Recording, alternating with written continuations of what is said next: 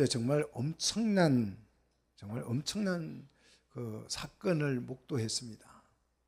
하나님께서 스스로 반석 위에 서시고 그 여호와께서 스스로 반석 위에 서시고 모세에게 명령했습니다.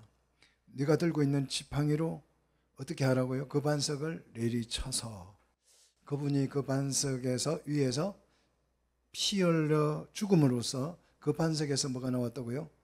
어, 생수가 쏟아졌다. 생명수가 쏟아졌다는 것입니다. 이 그래서 이 분의 그 흘린 피, 이 생수를 마심으로써 어, 주의 백성들이 뭘 얻게 됐어요? 생명을 얻게 된 것이에요. 자, 이것이 마사 또는 머리바의 기적입니다. 여기에서 여러분 뭐가 보여야 돼요? 이 반석 위에 서신 예수 그리스도의 십자가의 모습이 보여야 되는 것이에요. 십자가가 보이십니까? 예, 예수 그리스도의 죽음이 보이셔야 되죠. 이 마사와 머리바의 기적으로 여호와 니시가 주어진 거죠. 여호와의 니시는 뭡니까? 하나님의 승리가 주어진 거예요. 자, 이 하나님의 승리가 어떻게 나타났어요? 아말렉과의 전쟁에서 여호수아가 우리 대신 나가서 어떻게 해요? 싸워서 승리를 하잖아요. 우리 대신 나가신 분이 누구예요? 예수 그리스도죠. 십자가를 지신 그 주님이 우리 대신 싸우는 줄 믿습니다. 자, 우리 대신 주님이 지금도 싸우고 계셔요. 여호와 지시가 우리에게 반드시 주어질 줄로 믿습니다. 만약에 이 러비딤에서 러비딤은 오아시스가 항상 준비된 곳이라 그랬죠. 그래서 어, 원기 회복이라는 의미를 가진 이 지명에서 원래대로 그 그들이 생각했던 대로 그곳에 생수가 있었더라면 모세를 따라서 그 목마른 사슴처럼 호랩산 반석까지 몇 킬로요?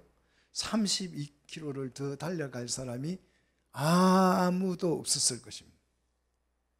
자, 이 목마른 이 사슴처럼 우리 스스로 예, 생수가 옆에 있는데 진짜 생수를 찾으러 가지 않는다는 거죠.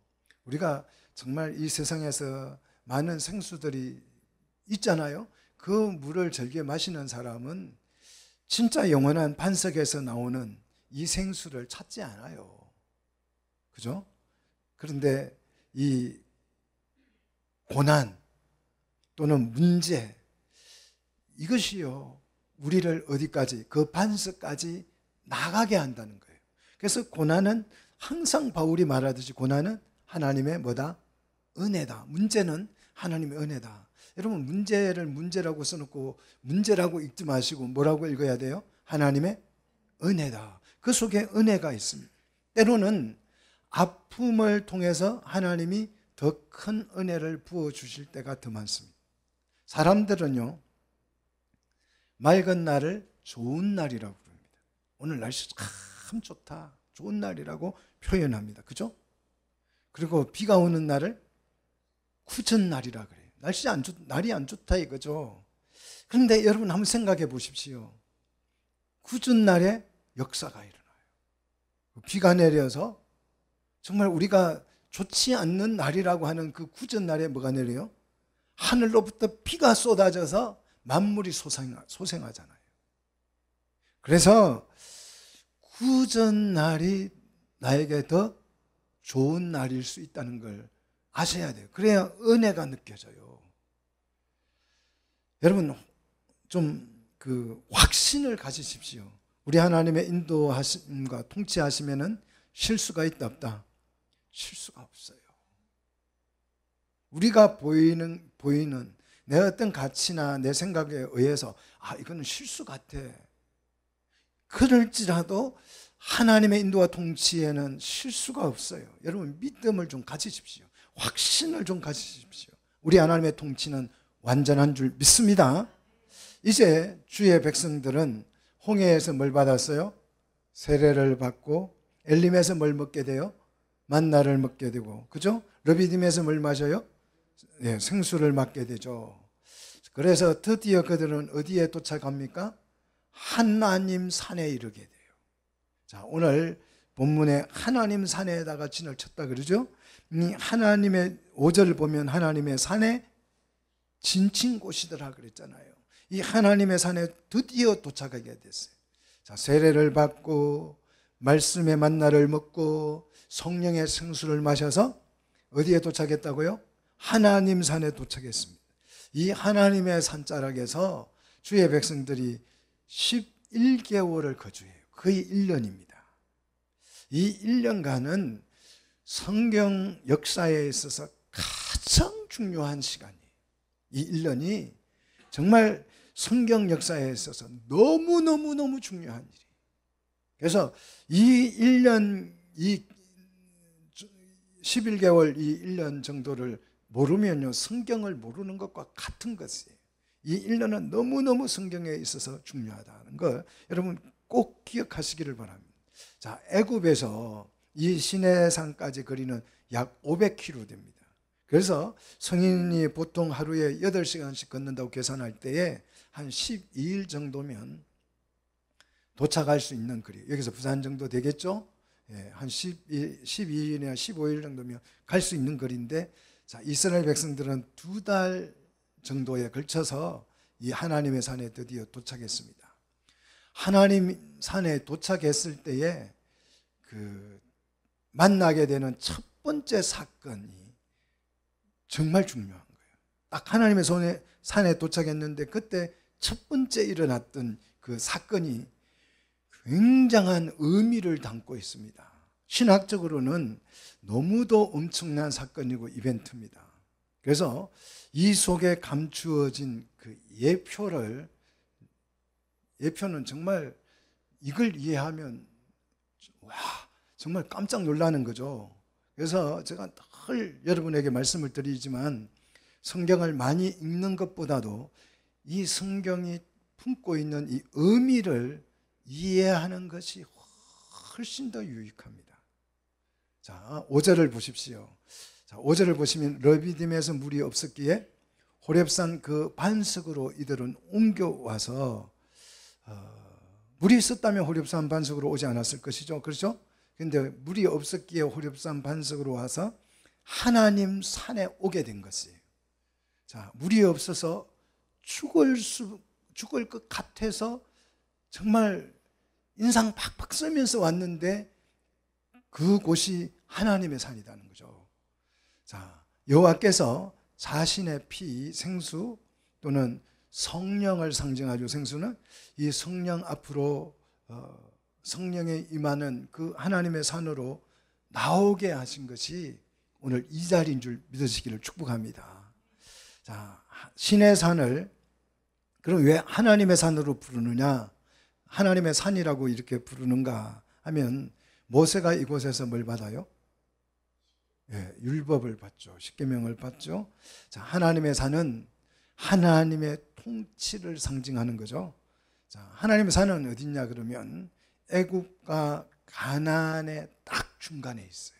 그래서 여러분이 출애굽하는 그 경로를 지도를 혹시 따라가서 보시면 V자로 갑니다. 자, 직선으로 가면 되는데 직선으로 가면 한 15일이면 바로 가나안까지 갈 수 있는데 V자 모양으로 쭉 내려와서 시내산에 와서 다시 시내산으로 또 쭉 올라가서 이제 가나안 땅으로 들어가는데 그것도 바로 가나안 땅으로 가지 않고 요단강 반대편으로 갔다가 돌아가죠. 자, 이, 이 시내산은 애굽과 가나안의 정확히 중간에 있어요. 애굽은 뭘 상징해요? 세상을 상징하고 가나안 땅은 뭘 상징합니까? 하나님의 나라를 상징하죠. 그래서 이 광야 시내산은 정확하게 한복판에 있어요. 그래서 애굽에서 시내산까지가 한 500km 되고 또 시내산에서 가나안까지가 한 500km 정도 됩니다. 그래서 시내산은 애굽과 가나안 직선상에 있지 아니하고 완전히 아래쪽으로 돌아서 다시 위쪽으로 올라가게 되어 있습니다. 자, 이렇게 해서 이 시내산에서 시내산을 돌아가게 된 이유는 우리 성경을 지난번에 배운 대로 명목적 표면적으로는 직선으로 가게 되면 블레셋 땅을 지나게 돼요. 그래서 블레셋 땅 사람, 블레셋 군대와 이스라엘이 마주쳐서 전쟁을 하면 어, 낙심할까 봐서 하나님께서 어, 신의 산으로 돌아간다라고 말씀을 하셨지만 그거는 표면적인 이유고요. 그 실제 의미가 있는 거예요. 자, 실제 의미는 뭐냐 하면 이 신의 산에서 하나님은 거의 1년간 성경의 핵심을 정말 성경의 그 원본을 그 원본되는 모세 오 모세 오경을 이 신의 산에서 다 주셔요. 그러니까 굉장한 의미죠. 맹목적으로는 블레셋 땅으로 가지 않고 신의 우회한다고 이야기해요. 전쟁하기 싫어서 우회한다고 말씀하시지만 사실은 신의 산에 와서 이 말씀을 주기 위해서 우회한 것입니다. 자, 여기서 그러면 이제 우리가 정확하게 짚고 넘어가야 될 게 있어요. 율법이 뭐냐는 거예요. 율법. 여러분 율법이 뭡니까? 신학자들이 지금까지도 끊임없이 토론하는 게 율법과 복음이에요. 율법은 뭐고 복음은 뭐냐? 율법 복음이 왔으면 율법은 필요 없느냐? 아니면 필요 있다. 자, 복음 말고도 율법이 반드시 필요해라고 막 고함 지르는 신학자가 있고 복음이 이루어졌으니까 복음이 주어졌으니까 이제 율법은 필요 없다라고 주장을 하는 신학자 딱 반반입니다. 율법이 뭐냐? 이, 이 갈등이 아직도 뭐 2000년 지났는데도 아직도 갈등이 사라지지 않고 끊임없이 논쟁이 되고 있습니다. 자, 율법이 뭔지를 정말 정확하게 우리는 이해하셔야 합니다. 자, 많은 사람은 율법을 착각하거나 곡해합니다. 하나님이 우리를 통제하고 지배하기 위한 법이 율법이다라고 생각을 해요. 율법을 이렇게 곡해한 사람들은 율법을 지키기 위해서 정말 몸부림칩니다. 우리가 상상하는 것 이상으로 율법을 지키기 위해서 굉장한 노력을 합니다. 기도할 때도 무릎 꿇고 기도하고 예배 예배 시간에 뭐 조는 거 이런 거 없어요. 정말 눈을 부릅뜨고 정말 하나님 앞에 율법에 따라서 정말 온갖 경건을 다 동원해서 예배 드리려고 정말 애써요. 그래서 이렇게 율법을 지키기 위해서 몸부림치다가 이런 사람들이 결국 그리스도인이 되지 못하고 바리새인이 되어 버리죠. 여러분 율법은 개인에게 너는 이렇게 살아야 해. 너는 이런 식으로 삶을 살아야 해. 이렇게 유도하기 위해서 주시는 게 아니에요. 율법은 개인을 규제하고 통제하기 위한 법이 아니고 관계 속에서 일어나는 법이에요. 당신과 나 사이, 하나님과 우리 사이, 성도와 성도 사이, 형제와 형제 사이, 교회와 교회 사이, 가정과 가정의 사이의 관계 속에서 주어진 말씀입니다. 그래서 우리는 율법을 통해서 하나님이 무엇을 하려고 하는지를 아는 게 중요해요. 즉, 율법을 따라서 통치를 우리가 받게 된다면, 우리가 율법을 따라서 하나님의 지배를 받는다면, 통치를 받는다면, 뭐가 되는지를 이해하셔야 돼요. 이게 정말 중요해요. 지금 이 말은 정말 신학적으로 정말 중요한 말이고, 정말 좀 이게 정립이 됐으면 좋겠다는 생각은 너무 간절합니다. 사람들은 이 의미를 이해하지 못하고 있는 것이 정말 안타까워요. 자, 율법은 우리가 율법의 통치를 받으면 뭐가 되냐? 요걸 아는 것이 정말 정말 중요하다는 것입니다.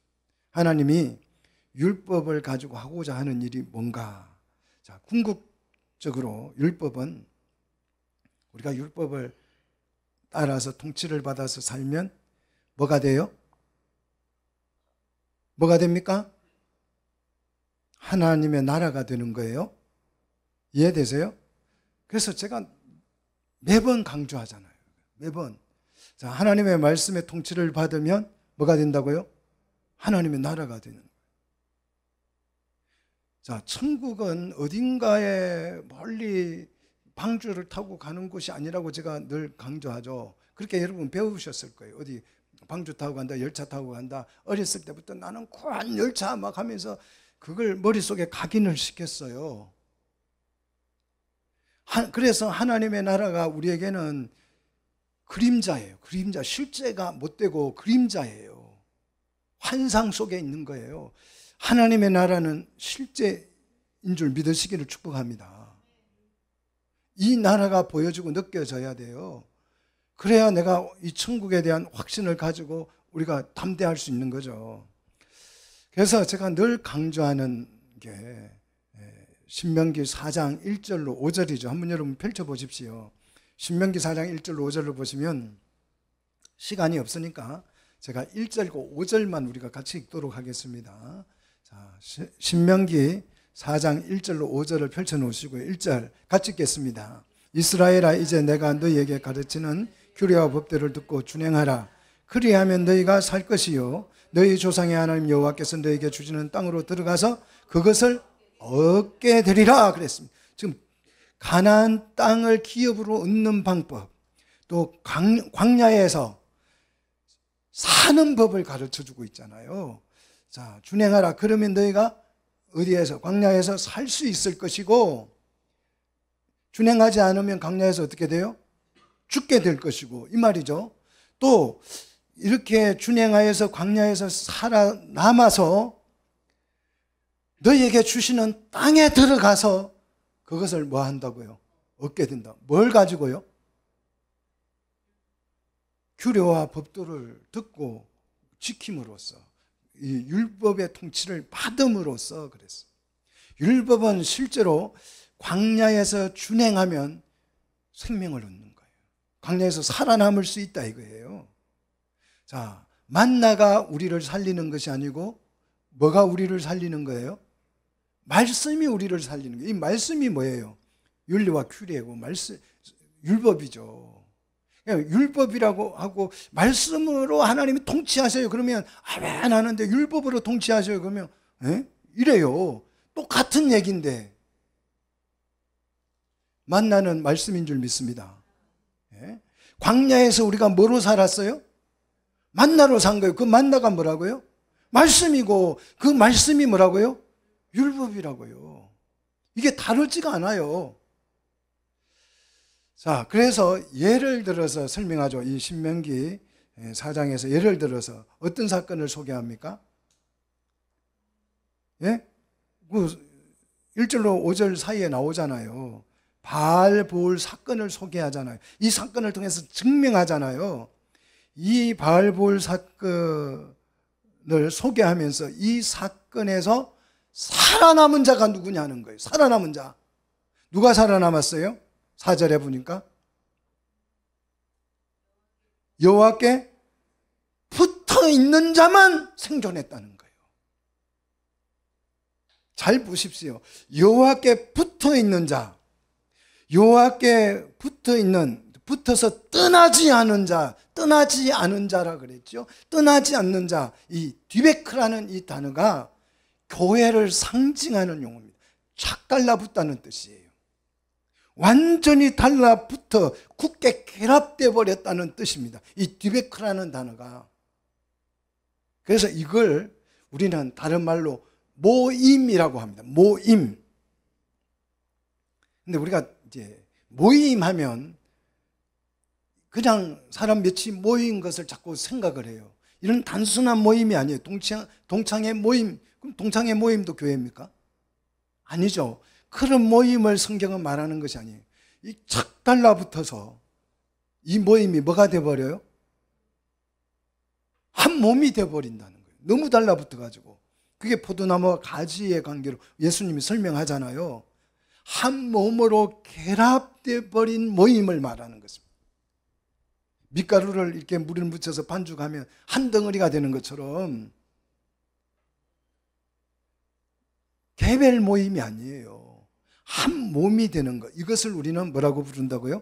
교회라고 부른다고요. 그래서 교회는 단순한 A 장소에 몇 사람이 모이는 것을 교회라고 하지 않습니다. 모임, 모임 자체가 교회가 아니에요. 모여서 뭐가 되어야 하지요? 한 몸이 돼야 뭐가 돼요? 진짜 교회가 된다고요. 자, 결국 율법은 뭘 실현하는 거예요? 교회를 실현하는 것입니다. 자, 시내산에서 일어난 첫 번째 사건이 그래서 중요하다는 거예요. 그래서 자, 그리고 이제 나가서 이제 5절을 한번 보십시오. 5절. 자, 5절 율법을 지금 설명하는 거예요. 율법은 뭘 이루는 것이라고요? 교회가 되는 걸 설명하는 거죠. 자, 5절 같이 읽습니다. 내가 나의 하나님 여호와께 명하신 대로 규례와 법도를 너희에게 가르쳤나니 이는 너희가 들어가서 기업으로 차지할 땅에서 그대로 행하게 하려 함인적 그랬어. 자 보십시오. 규례와 법도를 이 신내산에서 뭐 했어요? 1년간 뭐 했어요? 가르쳤어요. 1년간 가르쳤어요. 신내산에서 만나 묻고 또 배우고 만나 묻고 배우고 몇 년간요? 1년간 집중 교육을 한 거예요. 근데 이 집중 교육을 한 이유가 뭐냐? 왜 교육을 했다고요? 너희가 들어가서 어디에 들어가서요? 어디에 들어가요? 가나안 땅에 들어가서 뭐로 차지할 땅요? 기업으로 차지할 땅에서 그대로 행하게 하려 합니다. 그러니까 율법의 통치를 받게 하기 위해서 11개월 동안 여기서 율법으로 뭐 했다고요? 밥만 먹고 만나만 먹고 깨면 기도하고 말씀 보고 기도하고 말씀 보고 기도하고 말씀 보고 이렇게 했다는 거예요. 자, 이 기업으로 차지할 땅, 이 땅을 우리는 하나님의 나라라고 표현하고 소위 우리 식으로 말하면 천국 이렇게 표현하는 거죠. 어디에 들어가서 하나님의 나라 천국에 들어가서 그대로 행하게 하려고 율법과 규례를 주셨다고요. 규례와 법도를 주셨다고요. 자, 이 규례와 법도는 하나님의 백성을 뭐 하는 법이에요? 통치하는 법이라는 거죠.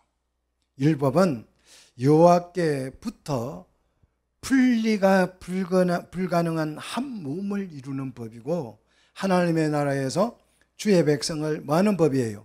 통치하고 다스리는 법이에요. 율법이 이해되시기를 축복합니다. 구원을 받기 위한 법이 아니고 구원은 이렇게 받는 거야 고 설명한 법이 아니고 구원을 받는 사용 설명서가 아니고 구원은 뭐로 받아요? 믿음으로 받습니다. 믿습니까? 그런데 천국을 실현하고 천국의 통치 다스림을 받는 법은 뭐다고요? 율법이다고요. 전혀 복음과 다른 거예요. 그래서 광야에서 교회를 세우고 교회에서 율법을 배워서 가나안 땅에 들어가서 하나님의 나라를 뭐 할 거예요? 실현할 거예요. 자, 대한민국은 어디 위에 세워졌습니까? 한반도에 세워져 있게 하면 할말 없어요. 그런데 한, 한반도 위에 서 있는 게 아니고 어디 위에 서 있어요? 우리 헌법 위에 서 있는 거죠. 그 헌법이 헌법을 개정해 가지고 조선이다 이렇게 표현하면 대한민국 없어지고 조선이 되는 거예요. 그렇죠. 헌법에 우리가 미국하고 합병하자. 그 일본하고 합병 잘하더만 왜 미국하고 합병을 안 하는지 모르겠어요. 차라리 할 것 같으면 미국하고 합병을 하지. 왜 일본하고 합병을 해가지고 그 고생을 했는지. 헌법에 대한민국이라고 했기 때문에 우리나라를 대한민국이라고 하는 거죠. 자, 이런 목적을 가지고 하나님은 하나님의 산으로 주의 백성들을 뭐 하셨다? 인도하셨다는 거죠. 그래서 애국과 가난의 정중앙 신의 산 아래에다가 뭘 치게 하셨어요? 하나님의 산에다가 진을 치게 하셨습니다. 장막을 치게 했다는 것입니다. 하나님의 산에 장막을 쳤으니까 요 산에 장막을 친 사람은 하나님의 뭐예요? 백성이고 가족인 줄 믿습니다. 하나님 영토 안으로 들어간 거잖아요. 할렐루야. 여러분도 지금 애굽에서 나와서 어디로 들어온 거예요? 하나님의 영토, 하나님의 산으로 들어오신 거예요. 그래서 저와 여러분은 하나님의 백성인 줄 믿으시기를 축원합니다. 자, 여기서 이곳에서 율법을 받아서 뭘 할 것인가? 그들이 이 산에 모여서 율법을 배우는 연합체, 공동체가 됐습니다. 자, 율법을 배운다는 말도 여러분 오해하시면 안 돼요. 단순히 내가 율법을 한번 지켜봐야지. 이러려고 율법을 배우는 게 아니에요. 율법의 통치를 배워서 우리는 뭘 할 거예요? 하나님의 나라를 실현할 거예요. 그래서 하나님의 통치를 따르는 법을 배우는 거예요. 율법을 배운다는 말은 하나님의 통치를 따르는 법을 배우는 거예요. 믿습니까? 야, 이렇게 하면 안 돼요. 저렇게 하면 이게 아니고 하나님의 통치를 배우는 거예요. 그래서 율법은 지도가 아니고 뭐예요? 슬계도입니다. 슬계도예요. 근데 우리는 이걸 오해해서 철로 역정하면 지도가 있어요. 지도를 보고 막 이렇게 순례자가 이렇게 가요. 막 고난도 만나고 뭣도 만나면서 결국 어디에 도착해요? 천국에. 그래서 마치 오해하기를 성경을 지도라고 생각해요. 지도. 그런데 지도가 아니고 뭐다? 설계도입니다. 설계도. 하나님의 나라를 세우는 설계도예요. 설계도예요. 자, 그러면 집을 누가 잘 짓습니까? 1. 착한 사람. 2. 괴팍한 사람. 누가 잘 짓까요? 누가 잘 질 것 같아요?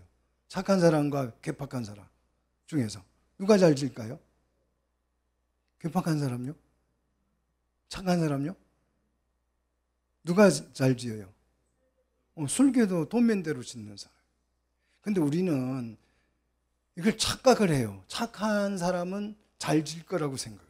그래서 내가 착해져야지 이러고 앉았어요. 내가 저 사람보다 좀 더 착하니까 저 사람은 집을 모래 위에 진 거고 나는 반석 위에 진 거야. 이러고 앉았다고요. 집은 어떻게 지어야 잘 짓는다고요? 설계도를 따르는 사람이 잘 짓는 사람. 근데 보편적으로 착한 사람이 설계도를 잘 지켜요. 그죠? 그런데 실제 또 그런 것만 아니에요. 괴팍한 사람이 고집스럽게 어떻게 해요? 융통성 없이 막 설계대로 지어요. 의사도요, 성질이 괴팍한 사람이 병을 잘 고쳐요. 그냥 막 사람만 좋은 사람은 아이고 오셨습니까? 위로를 해주고 막 이래가지고 집을 잘 못, 병을 잘 못 고쳐요. 그런데 막 고집이 세고 말하면 막 성을 내고 막 이런 의사들 있잖아요. 아는 척 하면 막 신경질나. 당신이 뭘 안다고 자꾸 얘기하냐. 이렇게 막 하는 사람들이 명의가 많아요. 성품이 착하다, 개팍하다 하기 전에 우리는 내가 이 율법의 설계도에 충실한가. 이게 중요한 거죠.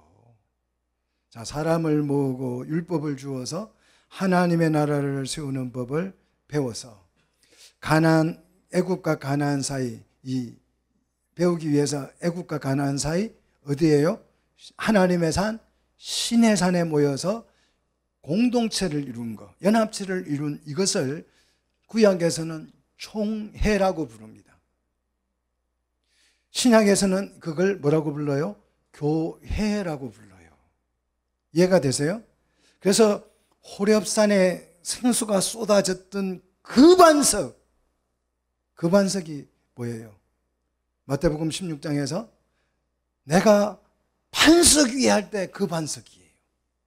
반석 위에 내가 교회를 세우리라. 너는 베드로니 내 반석 위에 교회를 세우리라 할 때그 베드로와 반석 위에 할 때 이 그 반석과 이게 같은 의미예요. 그래서 그 반석은 페트라입니다. 이 히브리 말에서 이 페트라는 어, 히브리 말과 헬라는 다 성이 있어요. 그 헬라 말은 성이 있어요. 모든 사물에 대해서 성이 있습니다. 어떤 거는 남성, 어떤 거는 여성을 표현하고 어떤 거는 중성을 의미하기도 그래요. 근데 이 페트라는 뭐냐 그러면 여성이에요. 뒤에 라자로 끝나면 전부 다 여성 의미를 가지고 있습니다. 그러면 어, 예수님을 상징하면 예수님 남자인데 이렇게 생각할 사람이 있습니다. 왜 페트라를 여성을 썼느냐 그러면 이 페트라가 뭘 만들어요? 돌을 만들잖아요. 그 반석에서 깨어져서 뭐가 나와요? πέτρος, 로스가 붙으면 다 남성이에요. 그래서 θεός 하면 하나님이 남성의 의미를 가지고 있는 거죠. ἐκκλησία 하면 교회는 여성이잖아요. 아가 붙으니까. 자, 그러면 이 πέτρα라고 하는 이 반석, 돌을 생산하니까 여성이잖아요. 애를 출산하니까 어머니가 출산하니까 어머니가 여성이듯이 페트라 이 위에다가 거기에다가 이 페트라를 깨뜨려서 떨어져 나온 돌을 뭐라고 부른다고요? 베드로라고 부른다고 페트로스라고 부른다. 이 떨어져 나온 돌은 돌을 생산하지 않기 때문에 남성이에요. 그래서 이 페트라를 판석 위에다가 뭘 세우는 거예요? 교회를 세운다는 거죠. 자, 그래서 교회는 교회가 세워지면 그 반석 페트라인 여성과 결합이 되어져서 여성이 돼버려요. 그래서 교회를 에클레시아 여성으로 부르는 것입니다. 왜 교회가 여성이냐? 이 교회를 통해서 사람이 생산되기 때문에 어떤 사람요? 하나님의 백성이 출산하기 때문에 교회는 여성이어야 맞습니다. 믿습니까? 자, 이 교회는 그리스도의 신부이죠. 이 진리를 설명하기 위해서 하나님은 신의 산에서 첫 번째 이벤트를 기획하신 것입니다. 여러분, 이 이벤트가 좀 뭔지 좀 궁금해지셔야 돼요. 이 정도 설명하면, 그죠? 와, 이 이벤트가 뭐였지? 뭔데 이렇게 장황하게 설명을 하나? 이 생각이 느껴져야 되겠죠. 자, 하나님의 산에 도착했을 때에 첫 번째 이벤트가 시작됩니다. 첫 번째 방문자가 누구예요? 꿈에도 상상할 수 없었던 누구요? 예, 1절 보시니까 모세의 장인 누구요? 이드로가. 이 사람은 누구였다? 미디안의 제사장이었다. 요즘은 베두인족이라 그러죠, 이 사람들을. 왜 갑자기 뜬금없이 이 하나님의 산에 진을 쳤을 때에 이 이드로가 등장을 했는가? 자, 2절, 3절에 방문 목적을 밝히고 있죠? 자, 모세의 아내 시보라와 두 아들을 데리고 왔습니다. 이게 가시적인 목적이에요. 방문 목적. 속뜻은 아니에요. 가시적으로 이 아내와 두 아들을 데리고 왔다는 거예요. 그래서 두 아들의 이름을 소개합니다. 자, 두 아들의 이름, 첫째 아들은 게르솜이라 그래서 내가 이방에서 나그네가 되었다라는 뜻이에요. 3절이죠. 3절 보시면. 그 다음에 둘째 아들을 뭐라고, 뭐라고 불렀어요? 엘리에셀이라고 불렀어요. 이 무슨 뜻이냐 그러면 내 아버지의 하나님이 나를 어떻게 해서 도와서 바로의 길에서 구원을 하셨다라는 뜻이에요. 4절이죠. 자, 모세는 이 두 아들의 이름으로 하나님 앞에 뭘 고백해요? 신앙을 고백하고 있는 거죠. 이방에서 나그네 된 나를 하나님께서 온전히 도와서 돕다. 돕는 배필 마찬가지지요. 돕는 배필을 통해서 뭐가 돼요? 교회가 되는 거예요. 이렇게 도와서 나를 뭐 하셨다고요? 구원하셨다고요. 왜 하필이면 러비딤도 아니고 그 반석 신의 산으로 아내와 두 아들을 이두로가 뜬금없이 데리고 왔을까 하는 거예요. 왜 뜬금없이? 목적지는 이들이 갈 목적지는 어디예요? 가나안이잖아요. 근데 가나안으로 가면 되지. 가나안 가고 나면 데리고 오면 되지. 왜 신의 산으로 데리고 왔을까 하는 거예요. 자, 5절 5절에 그렇게 소개되고 있죠. 장인이 아내를 신의 산 모세에게로 데려오는 요 장면, 5절에 있는 이 장면을 여러분 연상을 해 보십시오. 어디서 많이 본 장면이죠. 어디서 봤어요, 이 장면? 에덴에서 안 봤어요?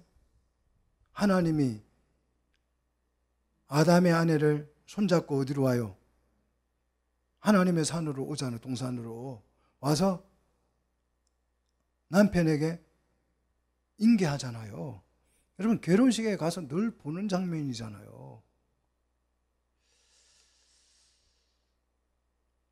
이게 보이셔야 돼요. 이게. 그런데 아내만 데리고 온 것이 아니고 여기서 뭐까지 데리고 왔어요? 아들까지 데리고 왔어요. 그래서 부부가 뭐가 돼요? 아들이 왔기 때문에 가정이 되죠. 이해되세요? 가족이 되잖아요. 구원받은 사람이 부부가 되어서 자녀를 출산함으로 가정이 되고 가정들이 모여서 교회가 되고 교회들이 모여서 하나님의 나라가 되는 거예요. 교회들이 막 하나님의 백성을 출산해 가지고 하나님의 국민을 그래서 내 뱃속에서 누가 나온다고요? 국민이 나온다 그랬잖아요. 이삭이 이삭의 아내 리브가가 임신을 했는데 배가 너무 아파요. 견딜 수가 없어요. 하나님 이게 도대체 뭐예요? 내 뱃속에서 왜 이렇게 고통스러워? 그러니까 하나님 뭐라고 했어요? 어, 두 국민이 네 안에서 지금 싸우고 있는 거야.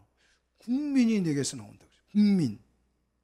그 리브가가 뭘 상징해요? 교회를 상징하는 거예요. 우리 교회는 뭘, 뭘 출산할 거예요? 국민을 출산할 거예요. 믿습니까? 국민을 출산하면 그분이 통치하시면 그 나라를 우리는 뭐라고 부른다고요? 하나님의 나라라고. 굉장한 얘기를 지금 하는데 여러분 지금 무슨 얘기 하나 이 생각하고 계시는 것 같아요. 이게 이해돼야 성경이 이해되는 거예요. 자, 교회는 이방에서 나그네 됐던 나를 하나님이 구원하셨다는 이 모세의 신앙 고백 위에 세워지는 것입니다. 베드로의 신앙 고백 위에 하나님께서 뭘, 예수님이 뭘 세웠어요? 내가 교회를 세우게. 똑같은 얘기예요. 이게 좀 성경이 좀 눈에 확 들어와서 이해됐으면 좋겠어요. 그래서 이 이방인이 어디로 들어왔어요, 지금? 이대로 이방인이 어디로 들어왔어요? 하나님 산으로 들어왔어요. 이 얘기를 에베소서에 똑같이 이야기하고 에베소서에서 에베소서 2장 19절을 한번 보십시오. 똑같은 얘기하고 있어요. 근데 성경 의미를 이해 못하면 이게 같은 말인지 다른 말인지 전혀 구분을 못해요. 안타까워 죽겠어요. 자, 에베소서 2장 19절을 보시면 그러므로 이제부터 너희는 외인도 아니고 나그네도 아니고 오직 성도들과 동일한 시민이고 하나님의 근속이라. 이게 누구 얘기예요? 이드로 얘기예요. 이드로. 이방인 이드로가 어디로 들어왔어요? 하나님의 산으로 들어와서 뭐가 됐습니까? 하나님의 백성이 됐고 시민이 됐고 하나님 근속이 됐다. 신의 산에 장막을 쳤으니 그곳이 하나님의 가족이 되고 교회가 된 것입니다. 믿습니까? 자, 장인 이대로 역시 마찬가지죠. 1절에 하나님의 산에 와서 무슨 얘기를 들어요? 자기가 막 어떻게 살아왔는지 그 얘기 들어요. 내가 막 너의 아내 데리고 막 거기에서 내가 미디안에서 어떻게 사는지 그 얘기합니까? 아니에요. 무슨 얘기 들어요? 복음을 들어요. 복음을. 하나님께서 애굽에서 이스라엘 자손을 인도해 내신 그 일을 듣습니다. 8절. 그 1, 1, 이 8절이 너무 중요하기 때문에 1절에 미리 선언하고 얘기하는 거예요. 똑같은 얘기예요. 모세는 장인에게 이기 시내산까지 올 때 있었던 그 사건을 구체적으로 설명을 합니다. 이게 복음이에요. 이 복음을 듣고 구원을 받은 이드로가 10절에 뭐라고 소리칩니까? 여호와를 찬송하리로다. 구원받은 사람은 여호와를 찬송하리로다. 요 고백이 막 마음속에서 나오는 거죠. 그래서 찬양을 할 때 내 마음이 막 감격에 차는 거예요. 너희를 애굽 사람의 손에서와 바로의 손에서 건져내시고 백성을 애굽 사람의 손 아래에서 건지셨도다. 이게 구원이죠. 찬송 받으실 주님께 그리고 이드로가 무릎을 꿇고 신앙 고백을 합니다. 11절 이제 내가 알았도다. 무릎을 치면서 울면서 이제 내가 알았도다. 여호와는 모든 신보다 크심으로 이스라엘에게 교만하게 행하는 그들을 이기셨도다. 여호와의 지시를 보잖아요. 주님이 나를 대신 싸워서 그분이 승리하신 게 우리의 구원인 줄 믿습니다. 예, 우리의 구원인 줄 믿습니다. 예. 그래서 이 승리의 하나님 신앙 고백을 한 후에 그냥 넘어가는 거 아니죠. 신앙 고백으로 끝나는 게 아니죠. 12절에 여호와께 뭐합니까? 예배를 드리죠. 12절 같이 읽겠습니다. 모세의 장인 이르로가 번제물과 희생제물들을 하나님께 가져오매 아론과 이스라엘 모든 장로가 와서 모세의 장인과 함께 하나님 앞에서 뭘 먹었어요? 이 떡이 뭐라고요? 말씀을 먹게 되는 거죠. 같이 한 상에 앉아서 하나님의 말씀을 먹는 가족이 되고 이 떡을 먹음으로써 교회가 되는 거죠. 이게 초대교회 모습이죠. 오순절날 막 세계 각국에서 누가 찾아왔어요. 이방인들이 찾아와서 베드로의 설교를 듣고 성령을 받아서 한 자리에 모여서 하나님을 찬미하고 말씀을 교제를 나누고 뭐가 돼 버려요? 교회가 돼 버리죠. 그런데 베드로가 고넬로 집에 가서 밥을 먹어 이방인들과 나는 먹기 싫은데 하나님께서 환상을 보여주면서 먹으라 그래요. 그래서 베드로가 먹다가 바울이 오는 거예요. 깜짝 놀래가지고 도망을 쳐버리죠. 그거 베드로가 바울에게 걸려가지고 그날 혼났어요 바울에게. 너가 너가 이게 이방인과 밥 먹는 거 이거 부끄럽게 여겨서 도망치면 어떡하냐? 하나님이 한 백성 한 가족으로 만들어 주신 그 부끄럽다고 도망치면 어떡하니? 정말 죽도록 베드로가 바울에게 깨진 날이에요. 오늘 이드로와 하나님의 백성이 한 자리에서 뭘 먹었어요? 떡을 먹어서 뭐가 돼요? 교회가 되는 오순절 모습을 보여주시는 것입니다. 그런데 정말 공교롭게도요. 아니 공교로운 게 아니고 정말 세밀하게 교회는 언제 탄생합니까? 절기상으로 교회는 언제 탄생했어요? 오순절에. 오순절. 이 오순절 교회 탄생의 계시를 오늘 본문이 하고 있는 그냥 오순절에 저절로 생긴 그런 게 아니고 시내산에서 모세가 신부를 맞이할 이때 바로 이때 자 신부를 맞이하잖아요 모세가 신부를 맞이하잖아요 신랑과 신부가 만나는 게 교회잖아요 이 교회 이때 바로 만나는 이 모세가 아내를 맞이하는 이때가 절기상으로 오순절이 자 출애굽은 언제 했습니까? 절기상 언제 했어요? 6월절에 해잖아요. 그럼 오순절은 언제가 오순절이에요?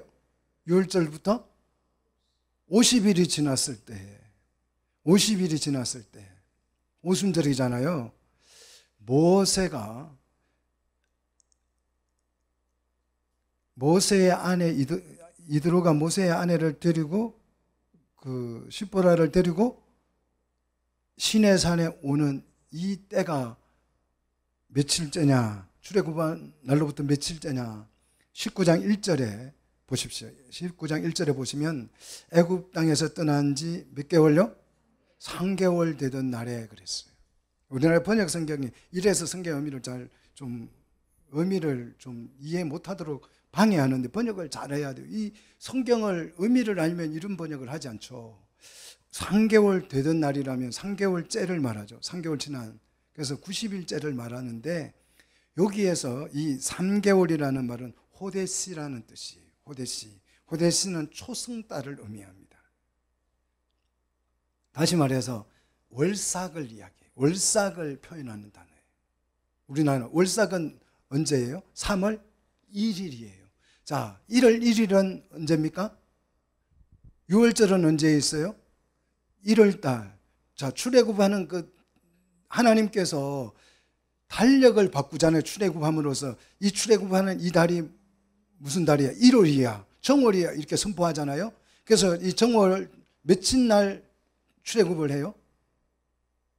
14일 날 밤에 양을 잡아먹고 출애굽하잖아요. 그게 15일이잖아요. 6월절이. 그죠? 해가 지면 유대인들은 다음 날로 인정하니까 해질 해가 질 때부터 해가 질 때까지를 하루로 생각하기 때문에 그래서 이 1월 15일에 시내산에 출발해가지고 시내산에 3월 1일에 도착했다고. 그럼 며칠 됩니까? 1월 15일에 출발해 가지고 3월 1일에 도착했으면 며칠 걸렸어요? 45일 걸린 거예요. 그러면 며칠만 있으면 5일만 더 있으면 오순절이에요. 자, 오순절 직전에 장인이 아내를 데리고 와서 가정을 회복시킵니다. 모세의 가정을 회복시키고 50일째에 오순절에 교회가 실현될 것을 여기서 예고하고 있는 것입니다. 예표하고 있는 것입니다. 그래서 출애굽기 18장은 성 교회사에서 너무너무 중요한 것, 너무너무 중요해. 교회를 설명하는 거예요. 지금 교회를 하나님의 가정을 설명하는 거예요. 이 의미를 모르면 18장에 뭐 모세가 아내 데리고 왔대, 이도로가 아내 데리고 왔대, 거기서 떡을 먹었대, 뭐, 뭐 이런 얘기하고 지나갈 것 같으면 그거는 그냥 소설을 읽은 거, 소설을 역사책 읽은 거예요. 장인인 이도로가 모세의 아내를 데리고 왔지만 이걸 영적으로 보면 모세의 아내 시프라 때문에 이도로가 어디 오게 된 거예요? 하나님의 산에 들어오게 된 거예요. 누구 때문에요? 모세의 아내 누구요? 시프라 때문에 그 시프라가 누구를 상징한다고요? 교회를 의미한다고요. 아내니까 교회잖아요. 교회를 통해서 누가 들어옵니까? 이방인들이 하나님의 백성이 되어 들어오는 거예요. 그래서 교회 오순절에 수많은 이방인들이 하나님의 교회를 통해서 하나님 품으로 들어온 줄로 믿습니다. 그 장면, 오순절 장면을 이 출애굽기 18장에서 지금 설명하고 있는 거예요. 자, 시부라는 교회의 신부를 상징하고 신부를 세상에 하나님께서 잠시 맡겼다가 신부는 어디 누구에게로 인도됩니까? 신랑 되신 그리스도에 인도되는 그 과정을 이 출애굽기 18장에서 소개되고 이로 통하여서 이방인들이 하나님의 산에 들어오는 것이에요. 그래서 이 들어오는 상징적으로 이방인을 대표하는 것입니다. 그래서 신부인 교회를 통해서 이방인들이 하나님께로 돌아온 거예요. 그래서 우리가 지금 하나님 백성이 돼서 교회가 된 거예요. 우리가 이방인들이었잖아요. 자, 13절을 보시면 이제 유대인의 대표인 모세와 이방인의 대표인 이도르가 통치를 합니다. 교회를 통치해요. 자, 구원받은 이 공동체이지만 그 공동체에도 소송이 일어나요, 안 일어나요? 광야에서 만나 먹고 생수 먹고 이런다고 서로 싸움박질 안 생기겠어요? 사람이 사는 곳은 다 막 치고받고 싸우고 니꺼내꺼 네 따지고 해요. 교회 안에서 뭐 아, 우리가 말씀 안에 사니까 네 것도 내 거고 내 것도 네 거, 이런 거 아니에요. 네거내거 따지고 막 자존심 세고 다 있어요. 이런 사건들이 발생을 합니다. 그러면 왜 이런 사건, 사고들이 발생을 하느냐? 하나님 통치하시니까 아무 문제가 없어야지. 이렇게 생각하시면 안 돼요. 그 이유를 설명하죠. 16절에. 그, 이, 그들이 일이 있으면 내게로 나오나니 내가 그 양쪽을 뭐하여서 재판하여서 통치하여서 뭘 가르쳐 주는 거예요? 하나님의 율법과 법도를 알게 한다는 거예요. 이게 목적이에요. 자, 시비가 붙으면 시비를 가려주기 위해서 그런 게 아니고 그 시비를 통해서 뭘 설명한다고요? 하나님의 윤리와 법도를 가르치는 일을 한다는 거예요. 1년 동안 이 일을 했다는 거죠. 자, 이 목적을 실현하기 위해서 애를 쓰는 모세를 보면서 이두로가 제안을 하잖아요. 19절 같이 읽습니다. 이제 내 말을 들으라. 내가 네게 뭘요? 방침. 방침은 계획 또는 조언, 충고를 하겠노라. 이렇게 해서 21절에 어떤 충고를 합니까? 천부장과 백부장과 오십부장과 십부장 이 군대 조직으로 이걸 세우자는 행정 조직을 만들자는 거죠. 자, 그래서 이 천부장, 백부장, 오십부장, 십부장 행정 조직 이, 이 조직의 장, 이 직분자라 그러죠. 이 직분자의 자격을 이들어가 21절에 이렇게 말합니다. 어떤 사람이 이 지도자가 될 수 있는가? 백성 가운데서 뭐가 있는 자? 능력 있는 자를. 능력 있는 자. 네, 하일이라는 단어인데요. 능력이라는 말은 힘, 재산, 군대 뭐 이런 뜻이에요. 부와 힘과 능력 있는 사람을 능력이라고 얘기합니다. 근데 이게 표면적인 얘기예요. 근데 많은 성경의 교회들이 이 표면적인 능력만 보고 일꾼을 뽑습니다. 그래서 돈이 있고 지위가 있고 이런 사람이 장로 되는 거예요. 표면만 보고. 그래서 그런 오해를 할까 봐서 친절하게 이 능력 있는 사람이 누군지를 설명하죠. 성경이 능력 있는 사람이라고 인정하는 사람은 어떤 사람입니까? 21절 보십시오. 첫째, 하나님을 두려워하는 사람. 둘째, 진실한 사람. 셋째, 불의한 이익을 미워하는 자라 그랬어요. 이 사람이 능력 있는 사람이에요. 돈 많은 사람이 아니고 하나님을 두려워한다는 말은 신앙을 얘기하는 거죠. 하나님에 대한 경외심이 있는 사람. 진실함이라고 하는 것은 성실을 뜻하는 단어예요. 성실. 뭐예요? 말씀에 성실한 사람. 이 사람이 능력 있는 사람이에요. 어떤 목사가 능력 있느냐? 말씀에 신실한 사람. 어떤 교인이 신실한 사람이냐? 말씀에 성실한 사람. 그 다음, 불의한 이익을 미워하는 자. 폭력이나 힘으로 이익을 갈취하는, 이익을 추구하는 사람이 아니고, 불의한 이익. 하나님의 말씀을 실제 삶에 실현하여서 이익을 얻는 사람. 이 사람이 교회에서는 어떤 사람이다? 실력 있는 사람, 능력 있는 사람. 그런 사람이 직분자예요. 이제 우리 장로 장립을 할 건데 우리 이상호 집사님 능력 있는 자인 줄 믿습니다. 아, 그 집에 돈 없어요. 이러면 다른 교회 가면 장로 안 되죠. 적어도 다른 교회 가면 재산이 있어야 돼요. 이집사님 재산 맞나요? 죄송합니다. 꽁치 돈, 돈이 많다는 얘기를 간간히 듣습니다. 근데 그런, 그건 표면적인, 그런 사람 장로 세워가지고 교회가 지금 이 모양이 된 거예요. 실제 능력 있는 사람은 하나님을 두려워하는 자, 진실한 사람, 부, 불의한 이익을 미워하는 사람이 자, 대리자로 이런 사람을 대리자로 세워서 하나님의 백 하나님 백성에게 뭘 가르칠 거예요? 율례와 법도를 가르칠 것입니다. 믿습니까? 자, 이방인인 이드로의 조력을 통해서 통치 조직이 완성되어지는 이 굉장한 의미, 이 굉장한 의미를 여러분이 깨달으셔야, 깨달으셔야 돼요. 하나님께서 구원하신 이스라엘 백성과 이방인을 지금 한 자리에 모여서 교회가 실현되고 하나님의 나라가 실현되는 것입니다. 이게 바울 신학이고 예수 그리스도의 복음인 줄 믿습니다. 자, 모세에게만 집중되었던 이 통치권이 그래서 어떻게 돼요? 분화가 돼요. 백성에게 막 나누어 주는 거예요, 통치권을. 자, 이게 무슨 얘기냐 그러면 누가 보면 19장 11절로 27절 내용이에요. 여러분 한번 보십시오. 누가복음 19장 11절로 27절 보시면 예수님이 비유를 설명하죠. 열머나 비유죠. 어떤 사람에게 열머나, 어떤 사람이 다섯머나, 어떤 사람에게 한 머나를 줬더니 어떤 사람은 열 머나를 남겼고 어떤 머나, 어떤 사람은 다섯 머나를 남고 한 머나 남긴 사람은 그냥 꽁쳐 뒀더라는 거죠. 그래서 주님이 오셔서 보시고 열 개를 남긴 그 사람에게 열 고를 다스리는 통치권을 넘겨줘요. 정말 좀 박수 쳐야 되는 거 아니에요? 이게 나라를 떼준다는 거예요. 다섯 번 남긴 사람에게 다섯 고를 통치할 수 있는 통치권을 준다고. 그게 나라를 준다는 뜻이에요. 그런데 남기지 않은 사람에게는 통치권을 빼앗아 버리더라는 거죠.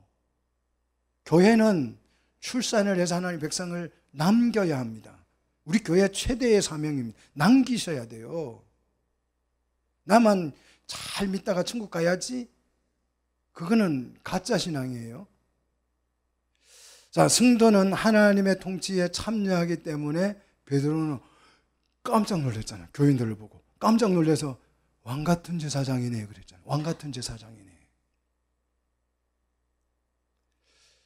27절 이 그래서 고를 나누어 주시고 27절에 이제 모세가 장인을 어떻게 해요? 왜 보내요? 하나님 백성이 땅으로 들어왔는데 하나님 나라로 들어왔는데 왜 보냅니까? 같이 가자. 이제 그거 뭐 이방인 그 미대안에 사- 사는 거 그거 다 던져버려. 우리가 이제 이 교회에 들어왔고 하나님 나라 들어왔으면 같이 이제 여기서 율법을 배워서 어떻게 할 거예요? 가나안 땅 갈 건데 그 같이 가자. 이래야 됐는데 왜 모세가 장인을 보냅니까? 예? 자기 땅으로 왜 보내요? 이 똑같은 얘기가 마가복음에 나오잖아요. 또 마가복음 5장에 마가복음 5장 1절로 29절에 보시면 그라사인 군대 이방인 땅이죠. 이방인 땅에 어떤 사람이 살고 있어요? 군대 귀신 들린 자가 있어요. 그래서 주님이 너 이리 와봐 해서 그 군대 귀신 들린 자를 회복시켜 주잖아요. 고쳐 주셔요. 그래서 구원을 받게 해 주셔요. 귀신으로 내쫓고 구원을 받게 해서 이제 구원을 받았어요. 그러니까 너무 좋은 거예요. 귀신의 지배를 받다가 구원을 받고 나니까 너무 행복한 거예요. 그래서 이 귀신 들린 자가 주님께 청하죠. 나 이제 주님만 따라갈래. 주님과 함께 살래. 그러니까 주님이 당연히 그래야지. 그렇게 했습니까? 어떻게 했어요? 19절 보십시오. 허락하지 않았어요.